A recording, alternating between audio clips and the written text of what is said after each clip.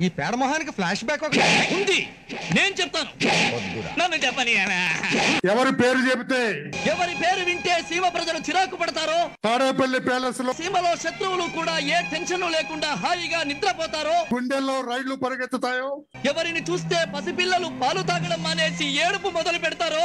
ఏ నాయకుడు ఈ రోజున రాష్ట్ర వ్యాప్తంగా కోవిడ్ బాధితులందరూ కూడా స్ఫూర్తినిస్తున్నారో? ఈ కరోనా వైరస్ వచ్చినప్పుడు కంపల్సరీగా వేడి నీళ్ళలో ఉప్పేసుకొని గాగ్లింగ్ చేయడం. అతనేనండి అతనే. ఈ దీక్షకు ముఖ్య అతిథిగా విచ్చేసి దీక్షను సఫలీకృతం చేసిన మేమందరం ముద్దుగా రేనా అని పిలుచుకుంటాం. మన ప్రీతమ నేత తెలుగుదేశం పార్టీ అధినేత మాన్యశ్రీ నారా చంద్రబాబు నాయుడు గారిని. అన్నారా?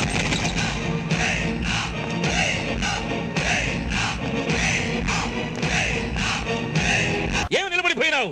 కూర్చో శాప మీద అన్న ఎప్పుడో పెద్ద మనిషి అయ్యాడు. ఇప్పుడు చాప మీద కూర్చోడు.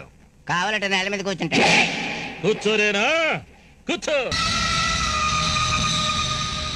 ఒక్కసారి తొడగొట్టున్నా ఒక్కసారి తొడగొట్టండి బాబు. ఒక్కసారి కొట్టండి మీరు. అది. తొడగొడతారంటే మీ దుంప దగ్గర తొడగొట్టడం ఎందుకు? ఈ రోజు కూడా తొడగొట్టి చెప్తున్నాం. వచ్చేది తెలుగుదేశం ప్రభుత్వం. నూట ముప్పై సీట్లు తెలుగుదేశం పార్టీకి ఖాయం. వద్దురా. కొంచెం వీక్గా ఉంది. అయితే సోడా కొట్టు. తొడగొట్టుకు బతికేవాడివి సోడాలు కొట్టుకుని బతుకుతున్నావు అన్నా? తొడగొట్టుకు బతికేవాడివి సోడాలు కొట్టుకుని బతుకుతున్నావు అన్నా? తొడగొట్టుకు బతికేవాడివి సోడాలు కొట్టుకుని బతుకుతున్నావు అన్నా?